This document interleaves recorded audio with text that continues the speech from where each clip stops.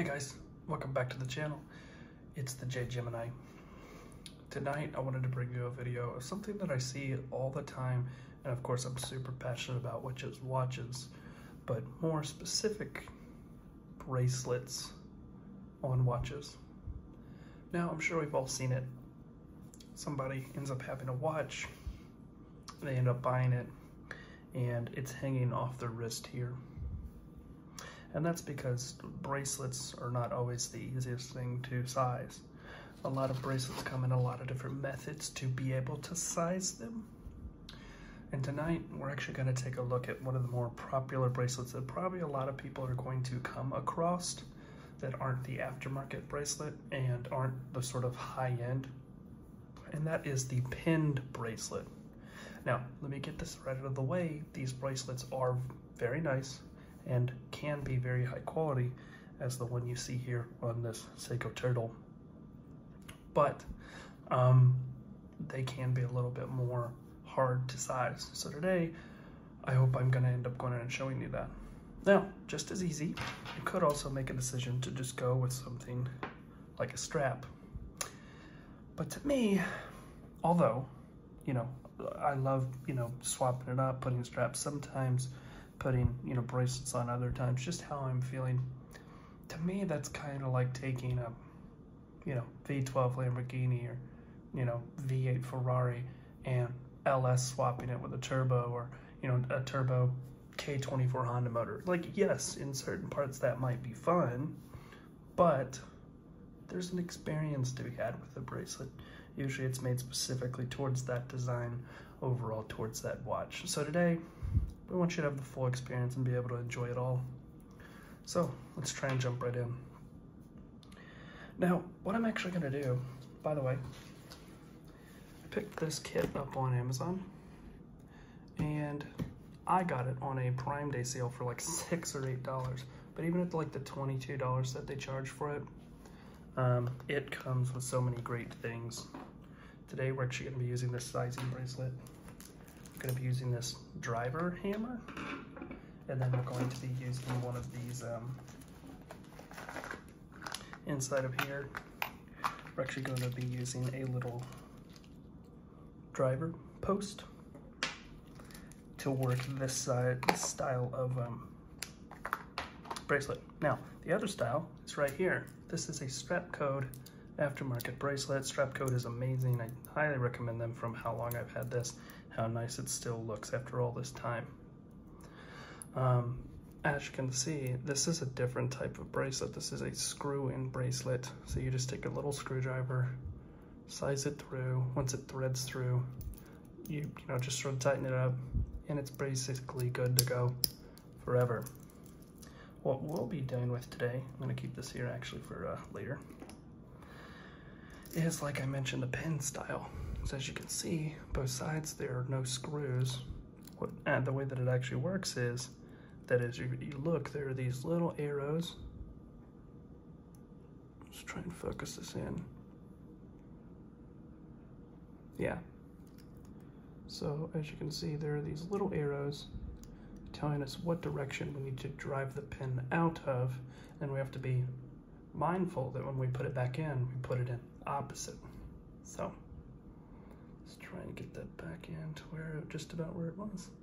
That should be fine. Okay. So the reason I actually brought out two watches is actually the first step. I believe that it will be easier if you already have a size bracelet to use that as a reference point to get a pretty exact sizing of what you need your bracelet to be instead of taking all this extra time removing adding, removing, adding, removing, and it just becoming an all over, uh, all over fun, um, not fun endeavor. Sorry about that. It's hard for me to say. Geez. So the first thing we're going to do is we're going to take off the clasp and just sort of remember where you had it of the watch that you're dealing with. So this is the micro adjustment on the clasp so you can get a better fit after you get your links dialed in. So that's exactly what I'm doing. I'm taking out, and you can see the tolerances are so tight, I can't even go past this. You have to pop both sides out. How good the Strapcode is. Okay. So luckily with these tools, this doesn't have to be an awkward like six hour video, hopefully. So as we can see, we get an idea of how many links each side ends up using, not including this and not including these, which are like hold placeholders. We basically have five links, four links, but the thing is, is that the main goal with a bracelet, and the reason why there's five links over here, is once it's bolted into the three part position, it actually ends up sitting in the middle of the wrist. And I should have showed you this actually up front. I haven't said, you remember to say that, but then, you know, just get going, ripping and roaring, ready to go, and uh, you forget things sometimes. Not perfect, not by the slightest, but we'll go ahead and pop that back in. It shouldn't be too hard to pop back out and show you guys what I was talking about. Okay, there, so. Okay, geez, so what I was wanting to show you is our main goal whenever you're adjusting your bracelet is to have it where it sits square in the middle, like so, of your wrist. So that's your end goal, unless you like it some other way, which I don't know why anyone would. So I would say that's your sort of main rule of thumb. All right, so there's one side out.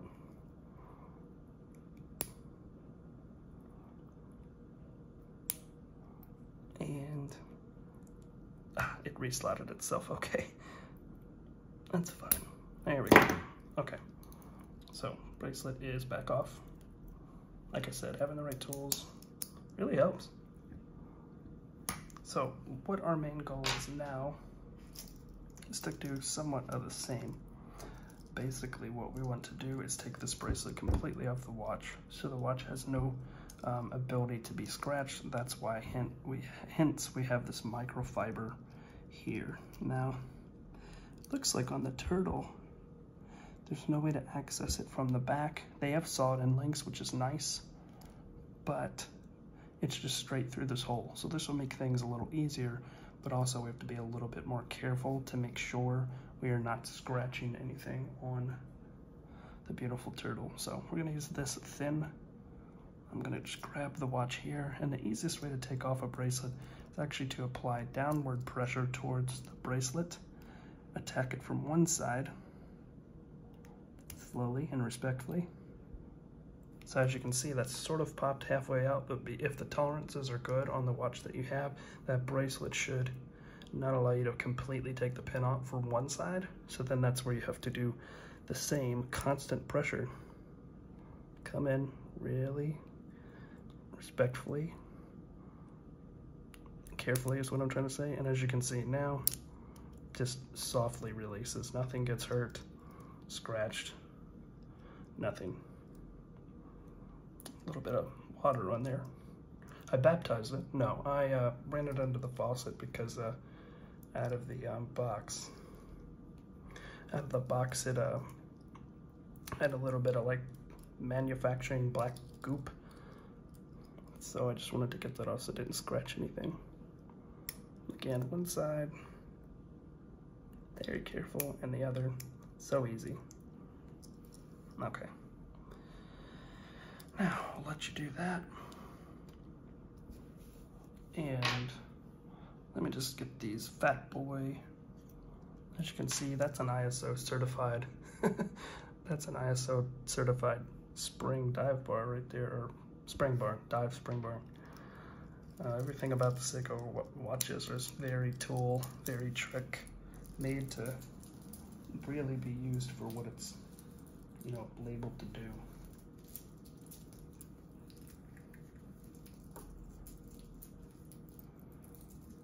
Okay, tried to dry it off the best I could. So, as you can see, it's a decent bracelet. If you take care of it, nothing's gonna bend. They have these reinforcement to give extra tension and things like that. It's got a, you know, dive extension. So honestly, you can use this and you don't have to go for a different style um, bracelet, but you can if you want to. So, okay. So now that we're here, we're going to set this down. We're going to move this to the side. And we're gonna focus in just on the bracelet now. So the first thing we're gonna try and do is we're going to try to get an idea of what each side is going to look like. So when we repair, um, compare sorry, the links, comparatively, they're almost identical in size to these. So what we can do is somewhat say that following that same amount of bracelets, of uh, links, sorry, in the bracelet, one, two, three, four. Okay, so one thing to keep in mind is this is almost like a link itself, right? This curves around your wrist, so when you're wearing it, what we're trying to get at is somewhat like this, right? Maybe like this or right here. So we have to kind of get as best we can an estimation comparative on the um, clasp down here as you can see is a little bit of a different size. So we'll just start to get to work. If anything is long, I'll just cut it out. Don't want to waste all everybody's time, but at the same time, I want to show you guys as much as the process as possible. So we're going to jump right in. This is a sort of non-marring soft plastic. And what you can do is again, with this thing that we used to remove these spring bars, we're also going to use this to drive out. Now, as you can see, we got these pieces here that uh, these are the removable links and there's a fourth removable link here too underneath the dive bar extension. Now, it's been a while since I've had a turtle a dive bar extensions, I believe you just gotta take your finger pull down, like, yep, that's what it is. Then push forward, and there you go. Extended to be able to move over a suit. But as you can see, that within itself is a um, link, a full-on removable link as well. Now a fourth one has unveiled itself. So I'm thinking, just from its size,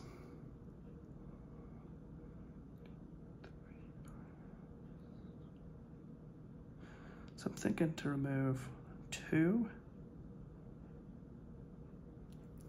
Because then with the dive bar extension, you, you have one, two, three, four, five, six,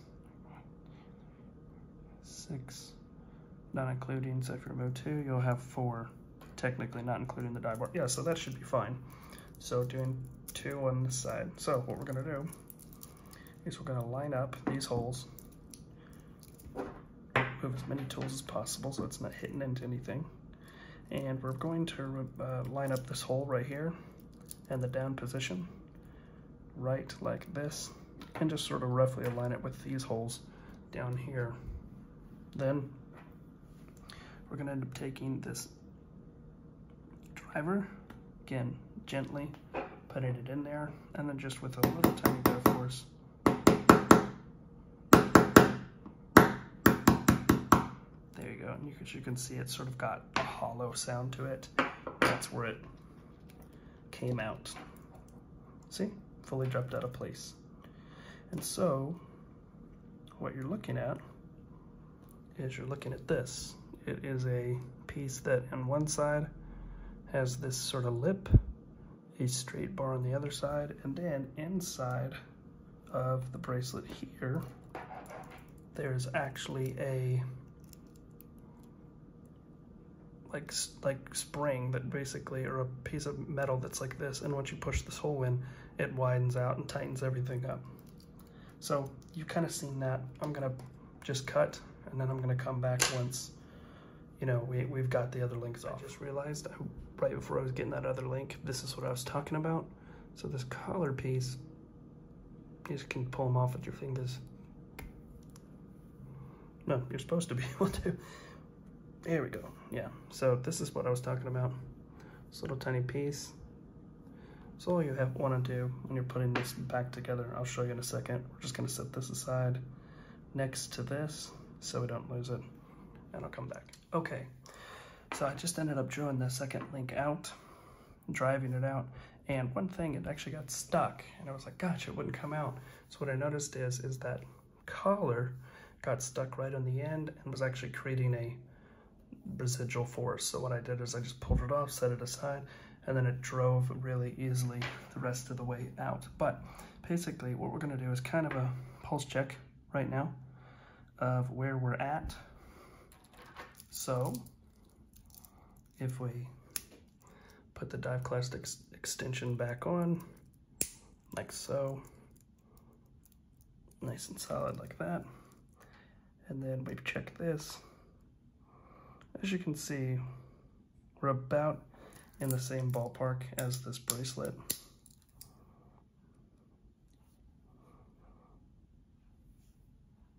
Yeah, so respectively, we're just minutely longer. So again, we're just gonna call a spade a spade. I'm gonna drive out this side and then I'll come back for the installation part. Okay, so we're back for this one because one of the links is under that dive clasp. I just simply removed it with a pin right here. So we're gonna pop, we're gonna see how to put that all back together and pop that through. So I removed three links on one side, two links on the other. That's how these bracelets work. One side has a lot more than the other. Um, all, you know, sort of wristwatches do. So the next thing we're gonna do is basically do the process, but in reverse. So the first thing we're going to start out with is we're actually gonna start out with the collar. Here we go.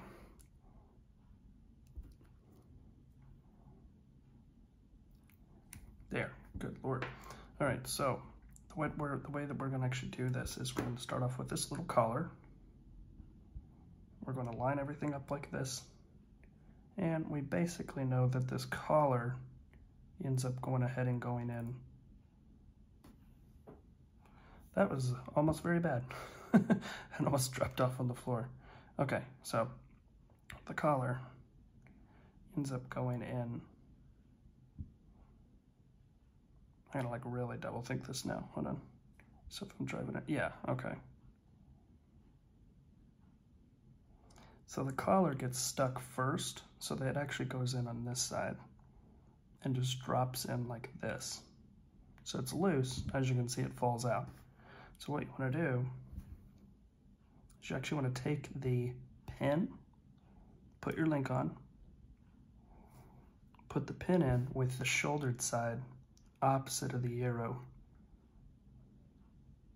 Because if you're driving against that shoulder, you gotta think, just logically, if you're driving against that shoulder, it's not gonna move. It's just gonna stay there forever. So it has to be the opposite side. And then naturally, that's why the collar gets stuck on this post first, is because that's the first thing it touches. So the collar goes on here, like so. Now, what you want to do is you want to get a flat surface kind of like this, where you can sit the bracelet. And then you want to take the punch, which these have little divots in, so they kind of self-center. You just want to slightly press down, just like that. Really easy and it's almost best to have two punches with this situation. So you can press on one side and press on another. So that just gets it initially started. Let me actually get another one. That way I can push them to against each other. Now what I did this, what you can do that I did before is if you have some larger like tacks that you push into like a pin, uh, like a cork board at work or something, and they come to a point, the ones that actually have like a little, they're like a T, you can actually file that down, one of the smaller ones and one of the medium ones, and it's enough that it actually presses against the collar, and the smaller one goes inside of the collar and works the same. So that's sort of a, if you have those tools, you can take them from, you know, work or, you know, borrow some or something like that, modify them and actually have cheap tools on the cheap. But we're gonna try, again, The good thing is this doesn't take a whole lot of force. It's more so just, you know, doing a 300 job and making sure nothing gets scratched. That's the hardest part. Yeah, see, like right there, I actually came out of the hole. Definitely don't want to be, you know, doing that a lot. So it's all balancing act. And actually, speaking of which, I might try this. Yeah. Like this isn't necessarily easy. And this is why some people don't like these type of uh, pins because you, you or these type of uh, um, bracelets, sorry, because you really do have to have like this super concentration to make sure you don't mess up the watch. Okay, so see, I'm just pushing it as far to the side as it's going. So it's pushing against the little collar instead of it pushing against anything else. And now that's basically fully tightened. When this isn't having any play at all, it's not moving back and forth at all. And this is, you don't see the collar right on the edge. You know that it's down in there. Give it a little wiggle and a yank and there you go. So I'm gonna try that again just because even now, it's been such a long time since I've done it, it was a learning curve. So again, we're gonna take this and we're gonna end up taking, what side am I on? This really is a situation that is like, who's on first? Okay, this that was that side, so this is this side right here. So again, as you can see, doing that with this on here might just be better, yet again, to actually pop it off. So I'm gonna do that, come back to you. Okay, so as you can see, I put the bracelet and the clasp together on one side, and I've taken off the dive, I've extended the dive extension. This is the link that actually connects into the dive extension, so I can just be dealing with this instead of a big floppy, floppy bracelet. So again, same um, sort of thought process. The collar was the first thing out. So you actually want the collar to be at the bottom, opposite of the arrow. The, not the collar, the stepped edge. And then you want to take your little collar piece, this little tiny circular, and drop it in there.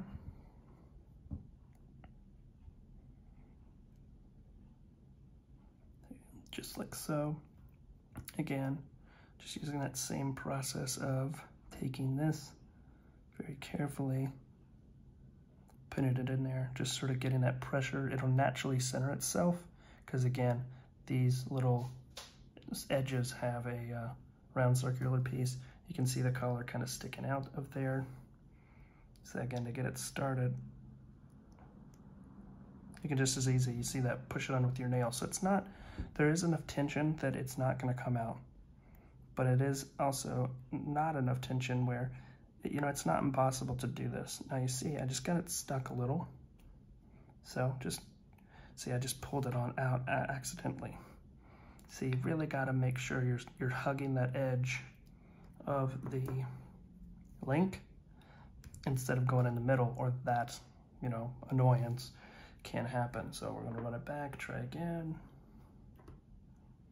Do like this. And this is why it's so good to have like a microfiber because you know, you're sitting this down multiple times. You know, it's better to just be safe than sorry. So again, we're gonna take our nail, push it down just to get it flat, get some traction on there. Then we're going to try again to hug the very edge. Push it in, maybe at an angle. So it's starting to go in. Now we're just gonna finish it up like this. There, I felt it move. And there we go, it's on. So, let's see what happens if we're close. Hopefully not, or hopefully so, definitely hopefully so. So we don't have to go through all of that again. But the cool thing is once you do it one time, whether it's with a paper clip or it's with the proper tools, you don't have to do it again. Very easy with putting that back on. Seiko did a great job. They rounded the tips of these uh, little pin adjusters. So once you pop them out, it's easy to put back in and you're not having to fight it. Okay, so the next thing is attaching it onto the wristwatch. Seeing how we did. So naturally, you want it to be on your wrist like this. So when you turn it over, the bottom of the watch is up here. The text facing you, you turn it over, the watch is facing you here. So this is the bottom. So let's move all this so we're not even anywhere close. And you want to keep these, you know, just in case. I don't ever plan to get rid of this, but in case you were to sell your watch, you have all the components that came with it.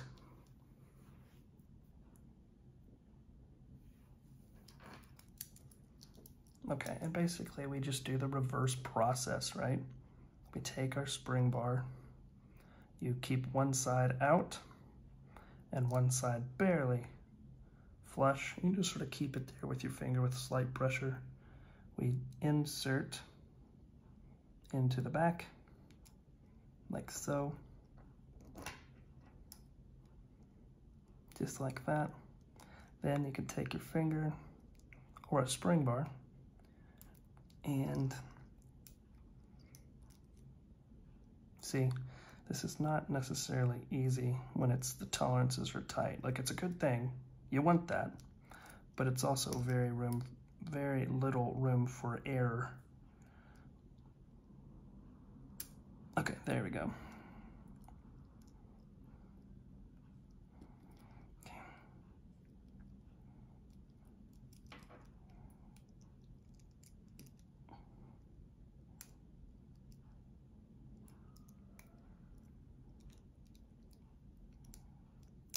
Now, this little guy popped in on this side.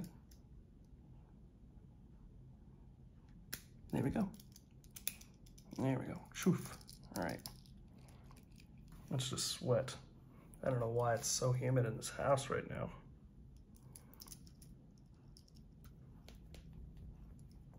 It's because I washed this darn bracelet.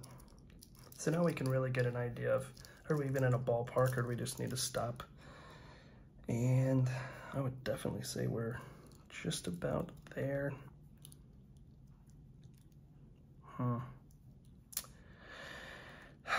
Yeah, unfortunately, what's gonna need to happen, which I'm Can I just... Hold on. I need to swap these, but what I just figured out, because as you can see what happened there, right? My goal, putting it here, and then flipping it over, it's over there, right? So if I drag it back, then it's over here, no go. But then this is definitely the right, oh, I'm not even on camera. So as you can see, if you drag it back where it's perfectly on, then this does come right into the right range of where I am. So that is the right length, it's just the opposite side. So what I'm gonna try to do is just pop this off, pop this off, swap it around, take it off the watch, of course, swap it around, um, and then try it on the other side. Be right back. Hey guys, I'm back. So, I ended up having to adjust the bracelet even more, and you know, this is a great thing. I'm actually glad that this happened. I mean, not really, but still I am, because it just kind of ended up showing like, I've done this before on my old turtle, but that was like three years ago. And even though I have some experience with it, you know, you, you can have these sort of little things happen. So I had to remove one link from one side, add it to the other. And that kind of brings me to an exact, an excellent point is that, again, these bracelets are frustrating. Um, if you have the screw down bracelets, it's a situation that you could just so easily say, you know what, I'll just take a screw out. Put this, you gotta line it back up, you got to do the whole special, you know, magic trick and all that jazz. So, especially when you're dealing with bracelets like this, the best advice I can give, and I'm glad that, like I said, this did happen, is just take your time and be patient, right? Like, you don't have to be, uh, you know what, it's not working, I'm gonna force it, because then that's when something breaks. I mean, I had that sort of happen right here, brand new bracelet. Again, I'm not too bent out of shape about it because, again, you know, this is more of a tool watch. I want the watch to be safe. The bracelet, the especially the bottom clasp, is gonna get scuffed up. But just don't force it. You know, don't be like, I'm gonna will it into place. I am man. Because, you know, if you go too far and then you run something, you know, already is this a frustrating situation where, you know, you wanna go listen to a Amon Amarth or Slipknot and, you know, flip your couch over in your front yard and burn it. Um, but if that happens and you go too far and do something you can't take back, then it's really not a fun night. So if you need to, take a breath, you know, have a drink, cold water, cold beverage, you know, what have you, and just come back to it, you know. That's gonna come out a lot better than if you're just like, you will submit to me, I am man. Stupid metal watch raw. Ooh, baby. oh, it's been too long. God dang. Mm. Ridiculous, ridiculous. There it is, and that's why it pays off. You have basically the um, watch the weight of Thanos on your wrist. So, as you can see, Seiko right in the middle. This actually curves over like a link, so this would be your normal clasp. So that's like perfectly in the middle. Um, so again, just me taking a deep breath and going, okay, gonna do it right. Let me take it back off. Let me not do it it's on the bracelet, so on and so forth. It ended up paying off perfectly. So that is the start to finish on how to adjust the bracelet. And then like I mentioned, the dive clasp, the way that that would work in real life is if you were going up for a dive, you just take your nail, pull up under like this. It's kind of hard, the best thing is get it from both sides like that. Lift off, and then when you put it back on, it's now got this slack in it which as you can see is quite a bit of ways to be able to fit over a dive suit. So that's a cool feature on this bracelet that's uh, really shows what it's made for. Yeah, yeah, that's it. And the cool thing is now that it's sized again, you can take it off so, so easy with just a pusher on both sides, boop, boop. Now I've got a strap. Now you put a rubber strap on, you know, so on and so forth. Keep going and going and going. You know, once it's adjusted, you have it on there. So, gosh. Hmm.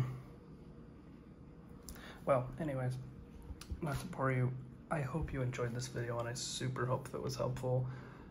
It didn't go smooth as somebody who is a polished professional, but I'm kind of glad it did. I'm not a polished professional. I'm average guy, passionate about these products and the things I do, and I'm glad that it ended up going that way so you can see that these sort of things happen and you know how to kind of overcome them.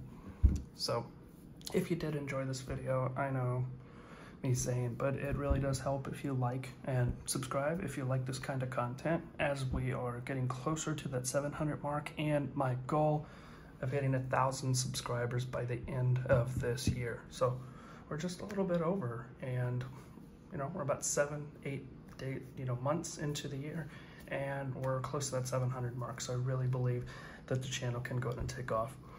Course, I love to see your comments, anything you have in the bottom. Love you going, going back and forth with you guys about any sort of questions that you have. Of course, most importantly, I appreciate you taking time out of your day to watch this video when there's so, so many other great content creators that you could be watching right now. I really appreciate it. Of course, I hope everybody has a great rest of your week. Also hope you guys, if you can, wish me luck. I have an interview coming up for a job that I've um, I've been really wanting for a long time and I've been really in the position for a long time that I'm at. And uh, you know, I think it's about that time to start moving in another direction, a good direction. So if you guys could send me a little bit of luck my way too, or good, good, you know, will, I would really appreciate it. Of course, either way, hope everybody has an amazing rest of your night. Take care and be safe. Peace.